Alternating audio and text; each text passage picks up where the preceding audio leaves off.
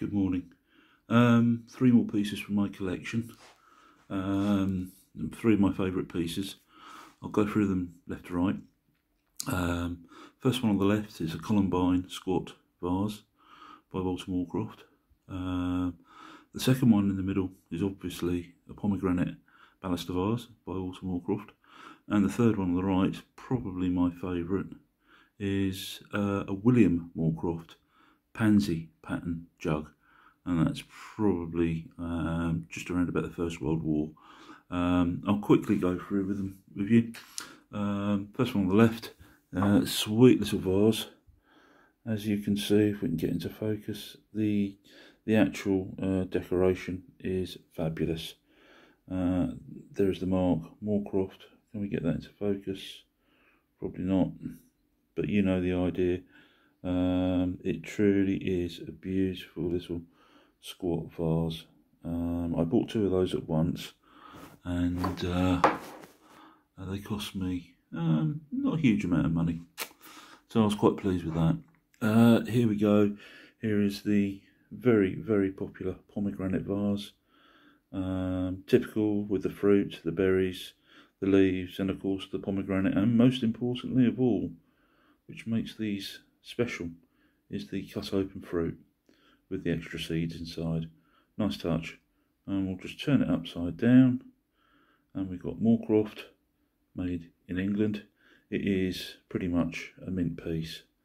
I think there's a minute um, glaze imperfection, but I can't see it uh, at the moment. But uh, it truly is a sweetie, absolute sweetie. Uh, really pleased. It's almost like a, a flambe glaze. I'm pretty certain it's not, but um, if someone could tell me, think that flambe, or agree with me or disagree with me, then let me know. And thirdly, is this. It's probably my favourite, which is this pansy jug. I'll just tip it upside down. And there you go. Moorcroft, England. Yep, Moorcroft, England. So we know that's going to be 1920s probably. Um, initialed WM. I assume it's William. Early 20s or, or, or pre 1926 at the very worst. Beautiful flower heads, leaves Again, it is absolutely pristine condition and I'm really pleased.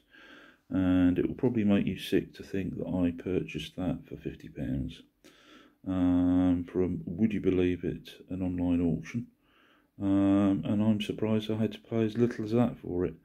Um, I was going to pay a lot more for it. But uh, it's an absolute, in the words of David Dickinson, uh, Bobby Dazzler.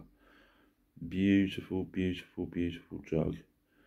Um, but but all three pieces are really sweet, really sweet indeed. I'll just move that across.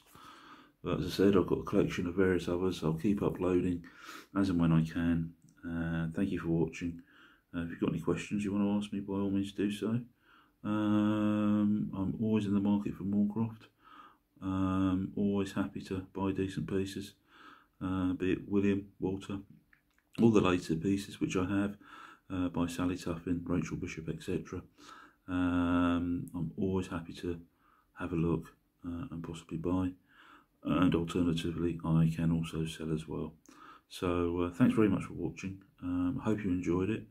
Um, give us a thumbs up, give us a like. Um, please watch my other videos with my Moorcroft. Um, they may or may not be of interest. Many thanks. Have a good day. Bye-bye.